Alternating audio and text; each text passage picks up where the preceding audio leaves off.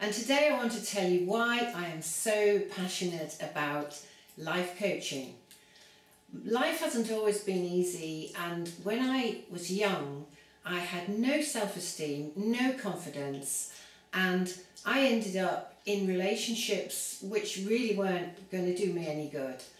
I got warned by my parents, but of course I took no notice of my parents. I did have good parents. I was really lucky about that because I know some people don't. But I was blessed with good parents, but I wasn't blessed with a lot of common sense.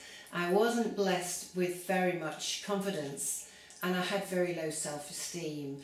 And I ended up getting involved with guys who weren't really any good for me I was quite young when I got into my first relationship, which lasted eight years, purely out of stubbornness. I knew it wasn't right, but I stuck in it. I stuck in there because my self-esteem was so low and I didn't realise that I deserved anything better. I thought this was the best I was ever going to get.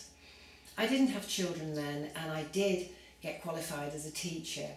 And my next relationship with my future husband was very, very good at the beginning. Um, it can happen like this with people who are slightly narcissistic. He was very narcissistic. He was very controlling.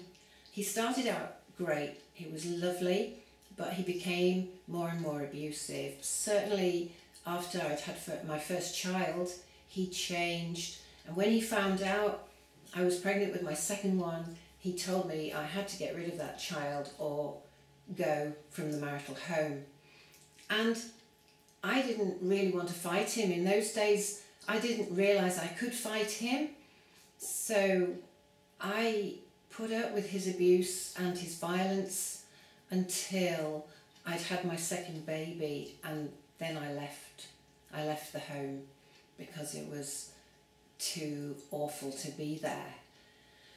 And I never really realised that I could have done anything about it. I just put up with it. And this was all to do with low self-esteem, feeling that this is all life could offer me.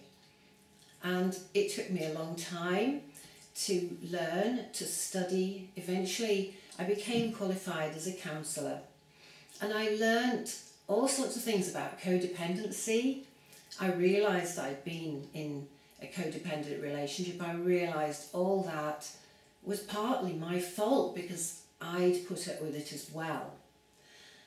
This took a, a lot of learning.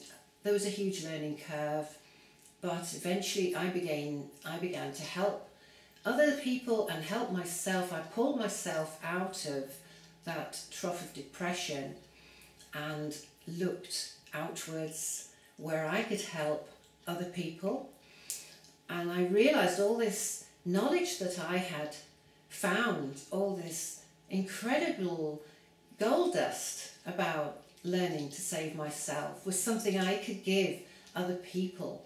And because I empathised and understood how other people feel so low and they have no way of knowing how to get out, how they feel so much despair and loneliness and thinking that that's all they can ever achieve in life.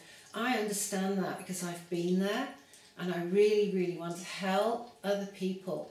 If there's anyone who would like to contact me, uh, my email address is at the bottom of my video and we have a website as well.